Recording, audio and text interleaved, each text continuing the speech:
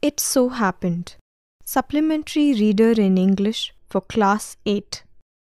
Page 62. Chapter 8 Jalebis. Part 1 An honest boy is on his way to school carrying money in his pocket to pay the school fees. The slight crisp of syrupy jalebis in the market excites him, and the coins in his pocket begin to jingle. After a long debate with himself, he yields to the sweet temptation. It happened many years ago. I was in the fifth standard at the government school Campbellpur, now called Attock.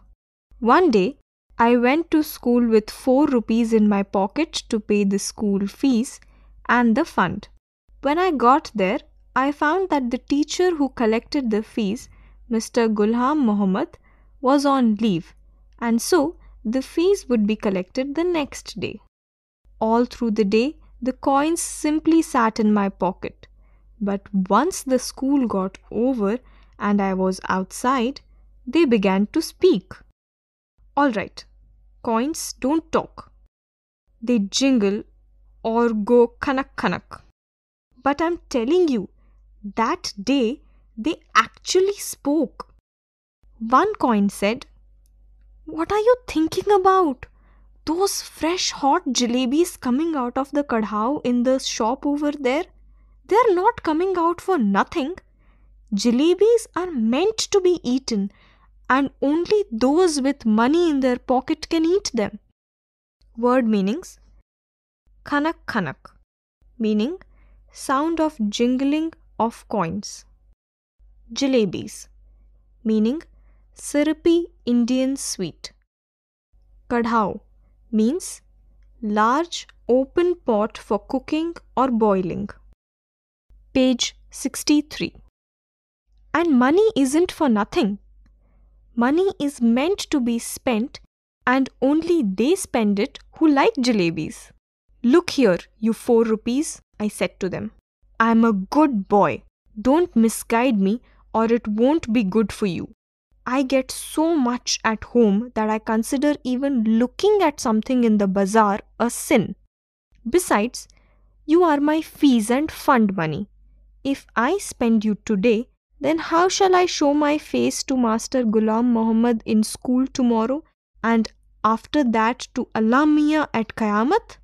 You probably don't know it, but when Master Ghulam Muhammad gets angry and makes you stand on the bench, he simply forgets to let you sit till the last bell rings. So, it's best you stop chewing at my ears like this and let me go home straight. The coins disliked what I had said so much that all of them began to speak at the same time. There was such a clamor that passers by in the bazaar stared, eyes wide with surprise, at me and my pocket. The coin of those days, the wretched thing, made so much more noise too. Finally, in a panic, I grabbed all four of them and held them tight in my fist, and then they were silent. Word meaning clamor, meaning loud noise. Page 64. After taking a few steps, I loosened my grip. Immediately, the oldest coin said, Here we are trying to tell you something for your own good, and you try to strangle us instead. Tell me honestly now, don't you feel like eating those hot, hot jalebis? And then, if you do end up spending us for today, won't you get the scholarship money tomorrow? Sweets with the fees money, fees with the scholarship money. End of story. Kissa khatam paisa hazam.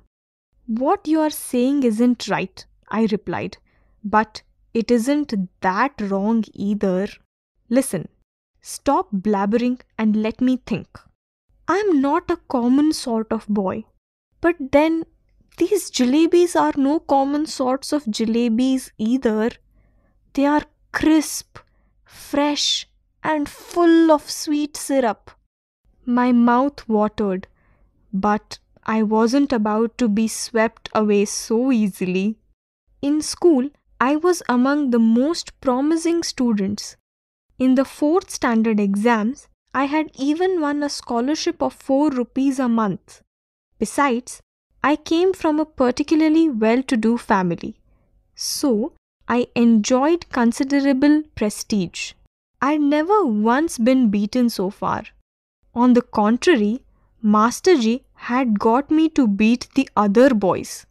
For a child of such status, standing there in the middle of the bazaar eating jalebis?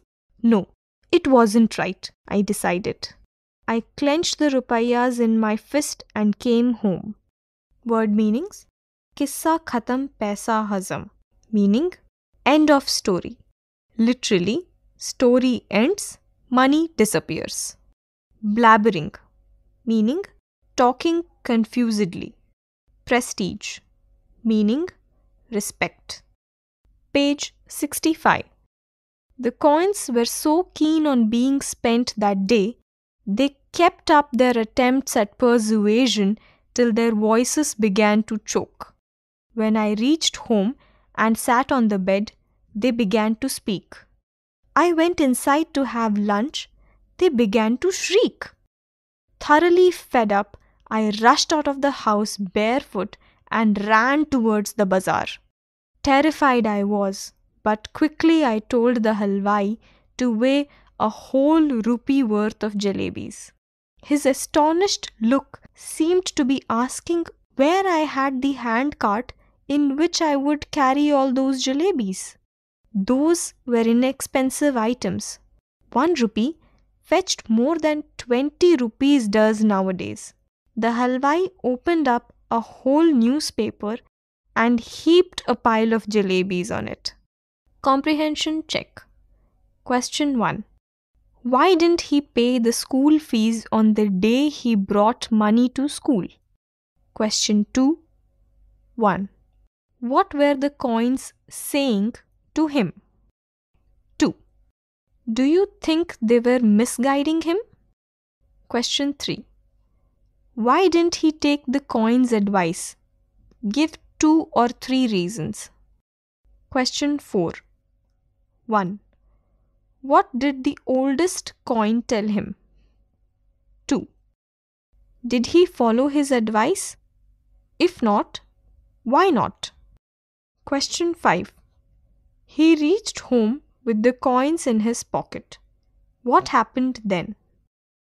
Part 2 A heap of jalebis he eats and shares them liberally with one and all. Though penniless now, he feels no less important than a mob leader. The real problem at hand is payment of school fees on time.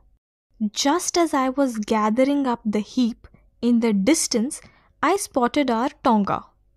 Chacha Jan was returning from court. I clutched the jalebis to my chest and ran into a gully. When I reached a safe corner, I began to devour the jalebis. I ate so many, so many jalebis that if anyone pressed my stomach a little, jalebis would have popped out of my ears and nostrils. Word meaning? Persuasion. Meaning? Coaxing. Halwai meaning? Sweetmeat seller. Tonga. Meaning? Two wheeled horse drawn vehicle. Gully. Meaning narrow lane. Page 66. Very quickly, boys from the entire neighborhood assembled in the gully. By that time, I was so pleased with my stomach full of jalebis that I got into the mood for some fun. I started handing out jalebis to the children around. Delighted, they ran off, jumping and screaming into the gullies. Soon, a whole lot of other children appeared, probably having heard the good news from others. I dashed to the halwai and bought one more rupee's worth of jalebis came back and stood on the chabutra of one of the houses, liberally distributing jalebis to the children just like the Governor Sahib used to distribute rice to the poor and needy on Independence Day. By now, there was a huge mob of children around me. The beggars too launched an assault. If children could be elected to the assembly, my success would have been assured that day. Because one little signal from my jalebi wielding hand and the mob would have been willing to kill and get killed for me. I bought jalebis for the remaining two rupees as well and distributed them. Then I washed my hands and mouth at the public tap and returned home, putting on such an innocent face as if I hadn't even seen the hint of a jalebi all my life. Word meaning Chabutra, meaning platform. Assault, meaning attack. Jalebi wielding hand, meaning the hand that held jalebis. Page 67. Jalebis I had gobbled up easily enough, but digesting them became another matter. With every breath came a burp, and with every burp, the danger of bringing out a jalebi or two. The fear was killing me. At night, I had to eat my dinner as well. If I hadn't eaten, I would have been asked to explain why I did not want any food. And if I had pretended illness, the doctor would have been summoned. And if the doctor, after feeling my pulse, had declared, Munna has devoured a mound of jalebis, I would simply die. The result was that all night I lay coiled up like a jalebi, suffering a stomach ache. Thank God I didn't have to eat all 4 rupees worth of jalebis by myself. Otherwise, as they say, when children speak, flowers shower from their mouths. But I would be the first child in the world with whose every word a crisp fried jalebi would come out. Children don't have stomachs, they have digestion machines. My machine too kept working right through the night. In the morning, just like any other day, I washed my face and, like a virtuous student with chalk and slate in hand, I headed for school. I knew I would get the previous month's scholarship that day and once I'd paid the fees with that amount, the jalebis would be completely digested. But when I got to school, I found out that the scholarship was going to be paid the following month. My head started to spin. I felt as if I was standing on my head and I could not get onto my feet again even if I tried. Master Ghulam Muhammad announced that the fees would be taken during the recess. When the recess bell rang, I tucked my bag under my arm and left the school and simply followed my nose, walking on and on.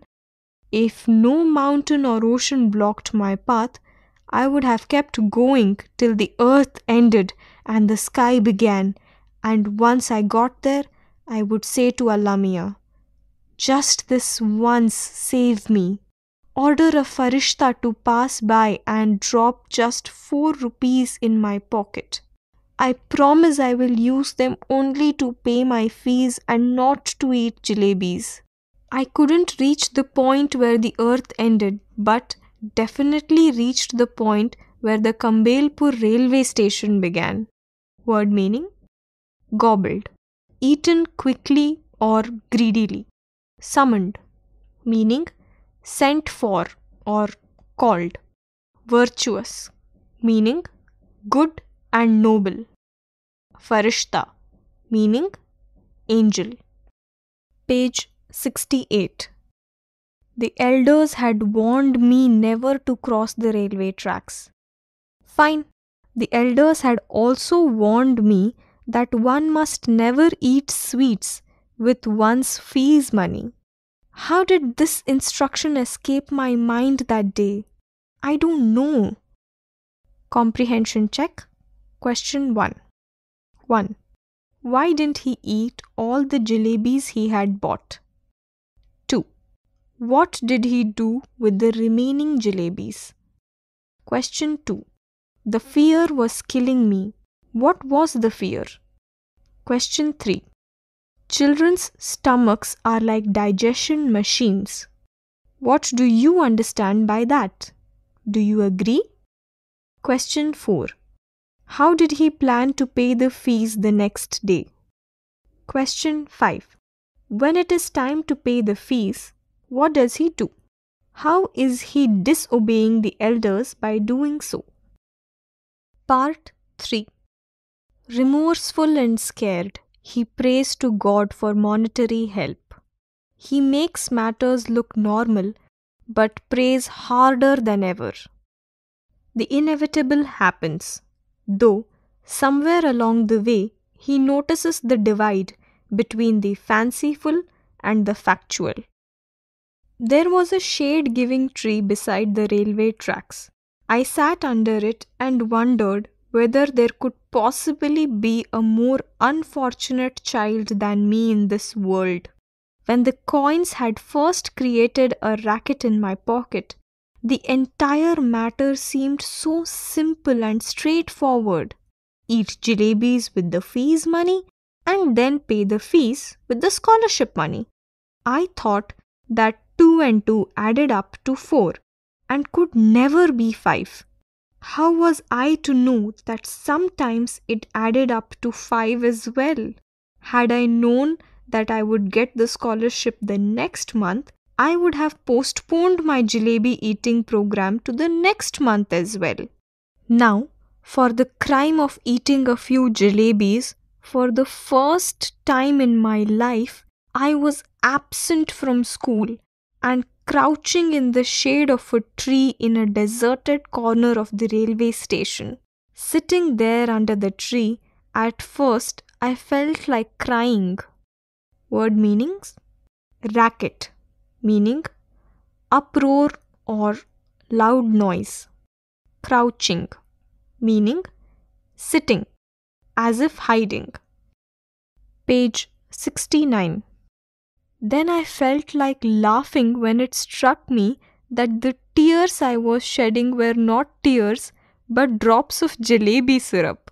From the jalebis, my thought went to the fees, and from fees to Master Ghulam Muhammad's cane, and from his cane I thought of God.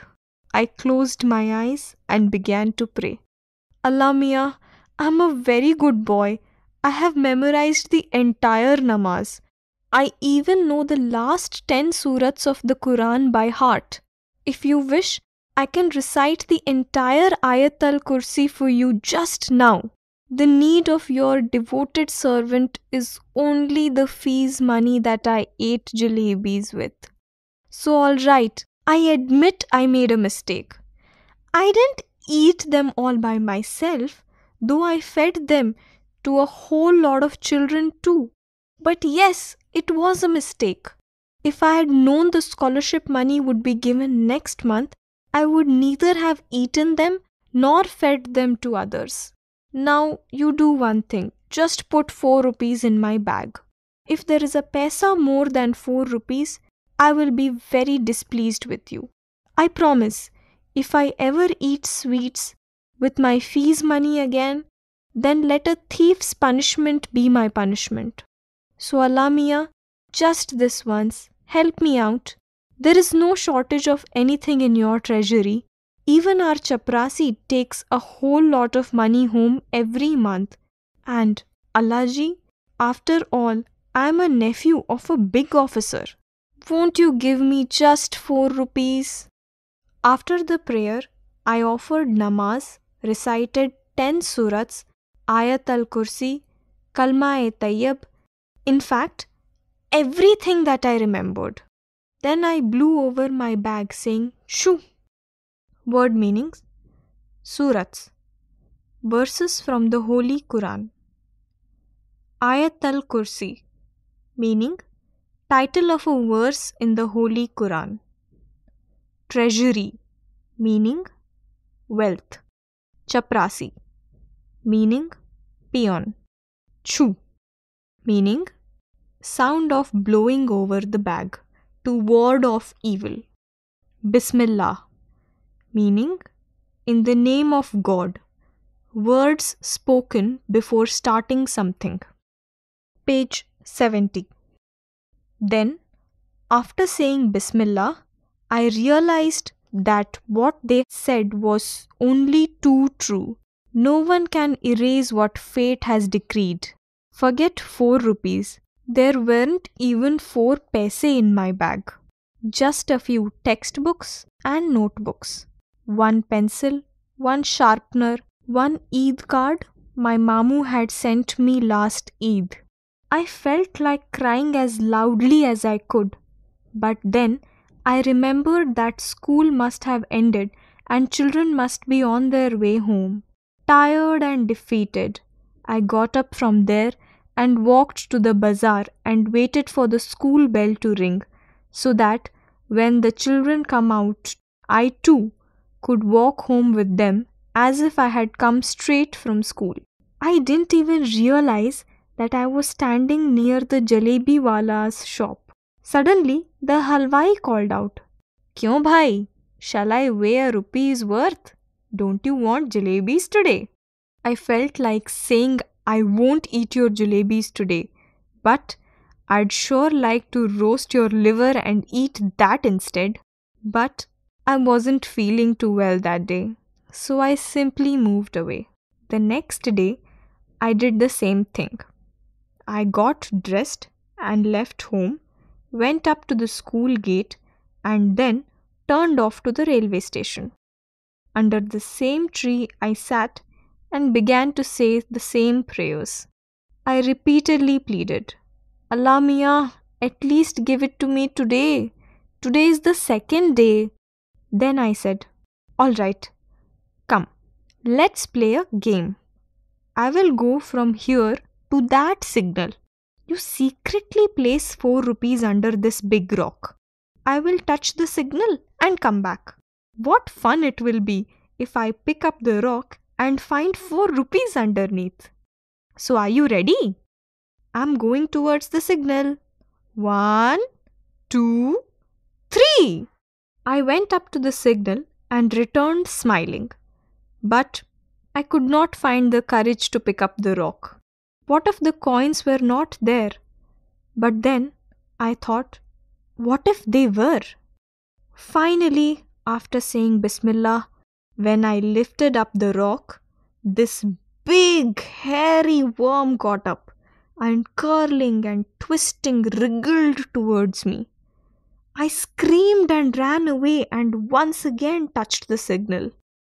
Page 71. Then Crawling on my hands and knees, I reached the tree. I tried my best not to let my eyes stray towards the rock. But as I picked up my bag and was about to leave, I had to look once again at the rock. And do you know what I saw there? I saw Mr. Worm coiled on it comfortably staring at me. I walked away thinking, Tomorrow I will do wuzu wear clean clothes, and come here. From morning to noon, I will keep reading the namaz. If even after that Allah doesn't give me 4 rupees, I will be forced to learn how to strike bargains or make deals with Him. After all, if my Allah does not give me my 4 rupees, then who will? That day, when I returned home, apparently from school and actually from the railway station, I was caught. The report of my absence had reached home. It's useless to relate what happened after that. Well, whatever happened, happened. But up to the seventh or eighth standard, I kept wondering if Allah Mia had sent me four rupees that day, what harm could it have possibly caused anyone? It was only later that I came to the conclusion that if Allah Mia were to provide all for the asking, then man would, even today, be living in nests like vultures and crows and would not have learnt the art of making jalebis. by Ahmad Nadeem Qasmi, Translated from the Urdu by Sufia Pathan. Word meaning Wazu, meaning ablution, washing face, hands, and feet before praying. Page 72. Comprehension check. Question 1. What was the consequence of buying jalebis with the fees money?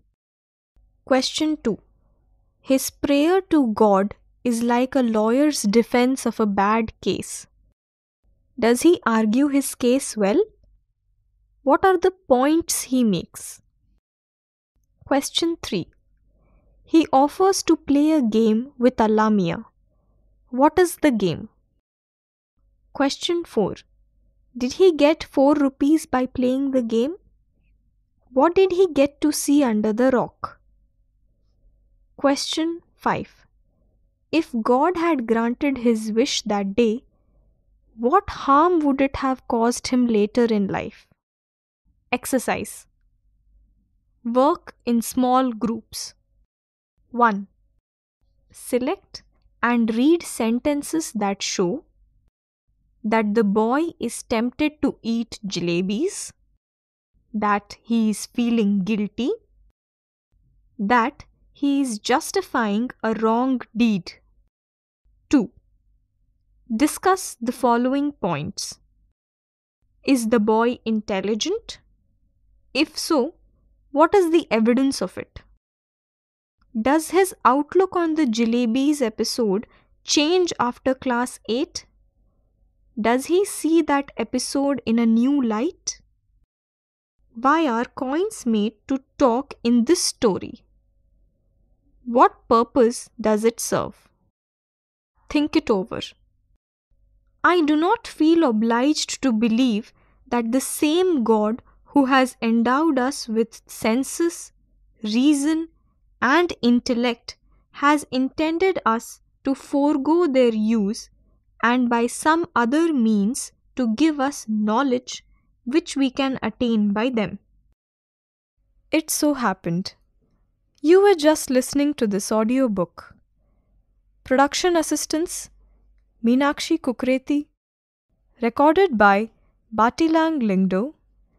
Technical assistance Vikas Sangwan. Produced by Ajit Horo. And presented by CIET NCERT New Delhi.